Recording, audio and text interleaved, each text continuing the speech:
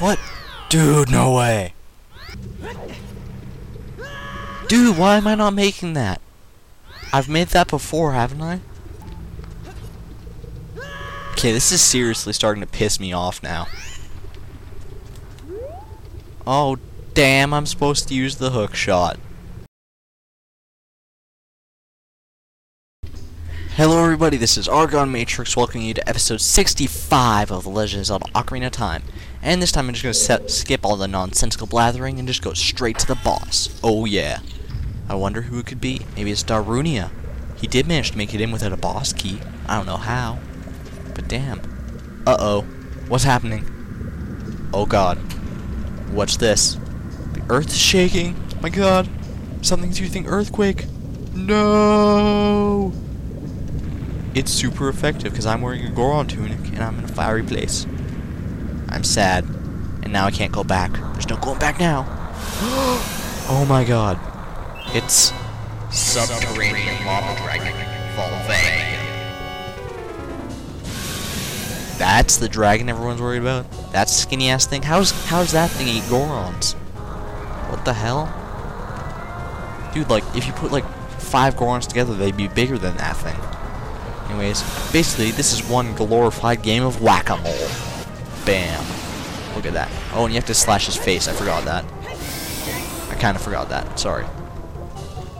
Anyways, um... And then he'll come out. Oh my god. What's he gonna do? He's gonna come after me. You better just duck. Duck! Duck! Ha ha. Look at you. You're running in circles, dude. You're running in circles. Chasing your tail? Chasing your tail? Looks like you're ready to nom nom that tail there. Oh yeah. Oh now you're leaving? You're leaving? What am I a party pooper? No, you're the party pooper, dude. You're just no fun. You know what? Let's play some more whack-a-mole. What do you say? Whack-a-mole? Oh, oh, you're over here now? Oh god. Yeah, be careful not to get hit with his hair when he swings it around like that, because that can hurt you, and it's not fun. And now he's gonna send like meteors coming down at us, I think. And what's he gonna do? What's he gonna do when he come for you? And here come the meteors. I can hear them. Oh god. Oh god. Oh my god. Oh my. Ow. Bitch. Yeah, this is pretty much one of the. This I'd say this is the easiest boss of the adult thing. It's, prob it's easier probably than even Barinade. You know, the Jabu Jabu boss. Anyways, um. Oh god. What do you want? What do you want? What you? Don't claw me. Dragon claw me. awesome. He's a Pokemon. You Pokemon. Just a second, you guys. Alright, you guys, sorry about that. That was my sister telling me to stop talking. So I turned on the TV in the background, so hopefully she won't be able to hear me now. But, whatever. Yeah, so, but you'll be able to hear the TV, obviously. Just hopefully not too loud. Anyways, let's get back to our whack-a-mole game here. Oh my god, I can't hit him. Wow. I was like walking inside of Volvagia there for a second. That was very odd. And here he comes again. He's probably gonna, like, sort of circle me again. Because I'm just gonna duck. Yeah, that's basically the tactic to this. Just run and duck and hit and slash and do all the good stuff, you know? Nom nom your tail. Nom nom your tail. Nom nom nom nom nom. Party pooper. You party pooper. And that was basically just a frame by frame repeat of what we just saw like a little while ago. Okay, where are you going? Where are you going this time?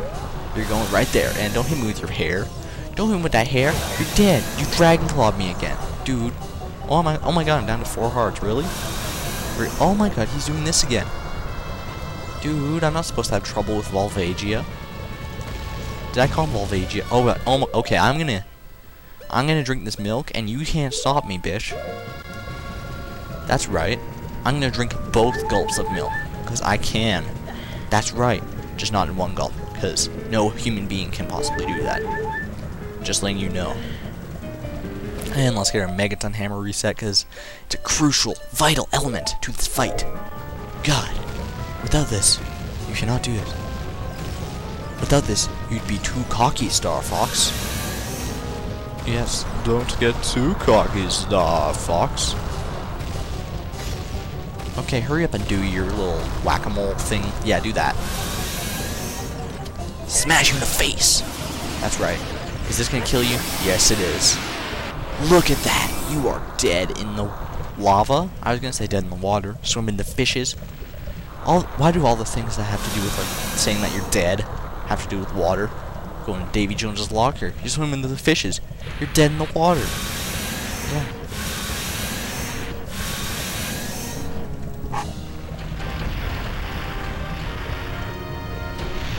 Bam. You are dead, Volvagia. Hey, I can target your skull. That's kind of funny. Yeah. Just a second again, you guys. Alright, you guys, that was my sister again. She was telling me to quiet down again, so now I have to talk in a whisper. I'm sorry, but that's just the way it has to be. This might get annoying, but we got a heart container. So yeah, bitch, that's my heart container right there. I'm not gonna whisper in that weird little voice anymore because I can just whisper like this. She won't be able to hear me, trust me. But that makes what, se- 16 hearts now? Oh yeah, I'm on my way. I'm on my way to the top. And you, if you want to get to the top, you gotta rock and roll, you know. Everybody knows that. Or you want to get to the top if you gotta rock and roll or something. I even forget that saying, but it's not even a saying, is it? It's part of a song. Whatever. Oh, what's happening here? The volcano. The guy's looking at it. He's gonna go, oh, boom, boom, boom. I would have yelled that or something, but my sister would have gotten mad at me. Because she's watching a movie. Telling me to pipe down. I can hear the undertones of your voice. Sisters, seriously. But anyways. Yeah, don't worry, you guys. I'm doing, I'm talking quietly now, so it might be a little hard to hear me, but it'll be worth it because I won't get interrupted during this awesome epic scene of Darunia being the sage. Dude, that's crazy. Thank you, brother. I really appreciate what you did, and thank you. I thank you on behalf of the entire Goron race. You turned out to be a real man, just as I thought you would. By the way, I, the wild Darunia, turned out to be the great sage of fire. Isn't that funny, brother? Well, this must be what they call destiny. Nothing has made me happier than helping you seal the evil here. Hey brother, take this. This is a medallion that contains the power of the fire spirits and my friendship. And with that, we are going to get our third medallion, which is...